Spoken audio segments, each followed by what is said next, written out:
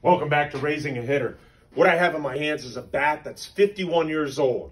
Got this when I was eight years old. It's a black Louisville Slugger bat. It's been duct taped just to allow some certain cracks and dings and surface marks to not develop into huge wood splits. This bat, just like the principles that we talk about in every video, is timeless.